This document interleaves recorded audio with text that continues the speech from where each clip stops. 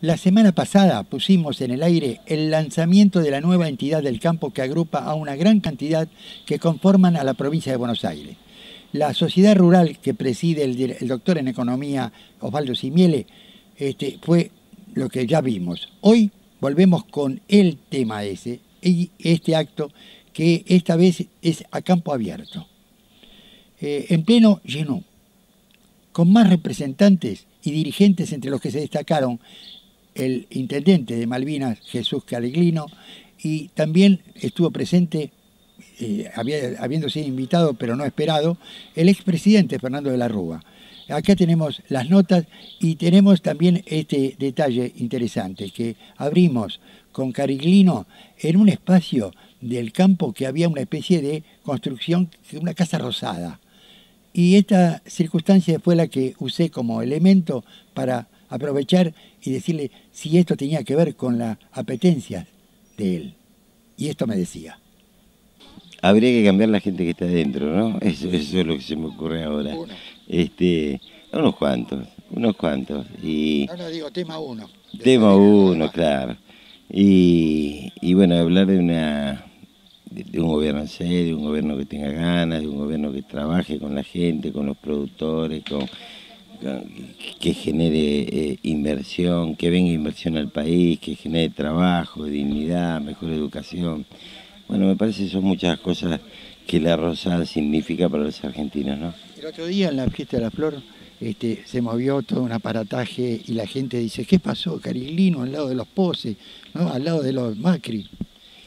Bueno, sí, venimos trabajando hace un tiempo muy tiempo bastante prolongado, con, un tema de, mirar para adelante, eh, dejar lo partidario un poco de lado y empezar a trabajar en un frente, eh, discutir temarios, discutir qué, educación queremos, qué sistema carcelario queremos, qué sistema de seguridad queremos, empezar a discutir los temas de fondo y esto me parece que es lo más importante. Más allá de que yo soy peronista, Gustavo es radical, no va a perder su, su historia, no va a perder sus raíces, eh, Mauricio es eh, el pro, eh, pero lo que importa son las ideas y que le vaya bien al país, que es lo que es lo más importante. ¿no? En esto estamos trabajando. Trabajar este, por, algo que todavía uno cree que es posible, ¿no?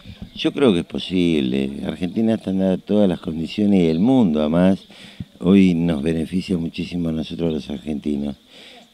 nuestro mayor socio Brasil pasó a ser casi la sexta potencia del mundo y este, y Argentina tiene la desgracia que ni siquiera nos tenemos créditos, no, tenemos inversión en el país, no viene inversión, no somos creíbles. Hoy la fragata Libertad,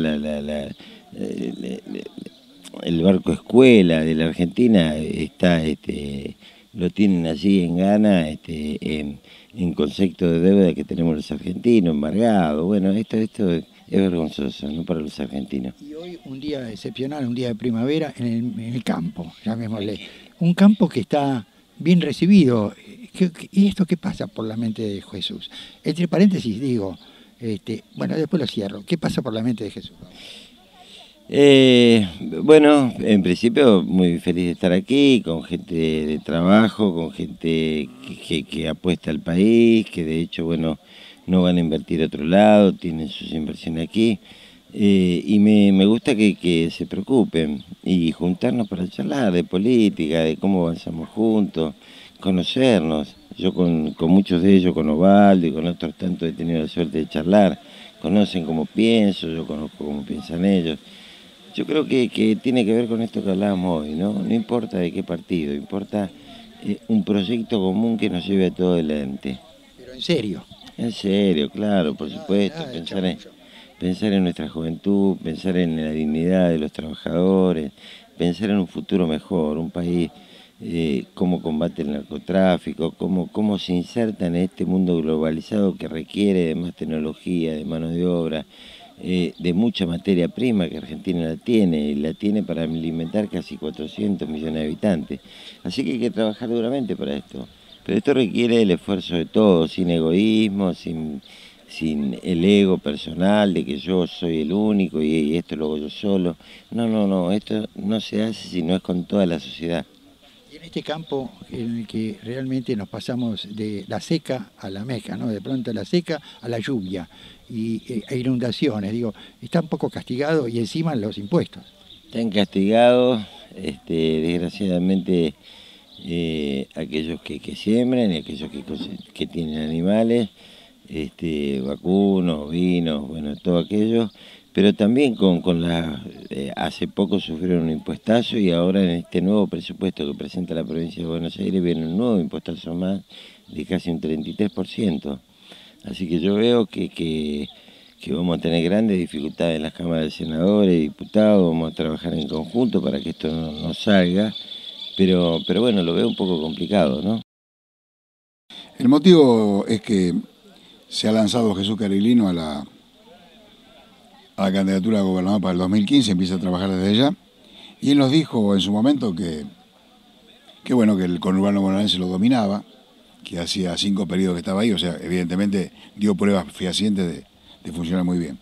Pero como se lanza en la provincia, y la provincia es muy amplia, principalmente la provincia interior, la zona de, hay zonas en el sur como la zona del Ajo, en Carmen de Patagones, la frutícola de San Pedro, en Pregamino la soja, la cuenca del Salado con los problemas de, la inundación.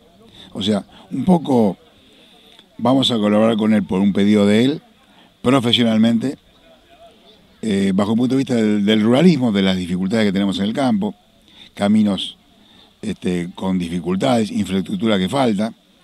Eh, la última inundación que hubo en la provincia fue por una negligencia de que se recauda un impuesto y un porcentaje de impuesto para hacer una obra pública en la cuenca del Salado, en la cuenca depresiva, y no se hizo nada, se desvían los fondos. Yo que soy, que vivo en Vicente López, parte de esos fondos de la obra, de la obra hidráulica se volcó en Tecnópolis, una parte, otra parte en una universidad, o sea que los fondos que recaudamos para tal cometido no se cumplen.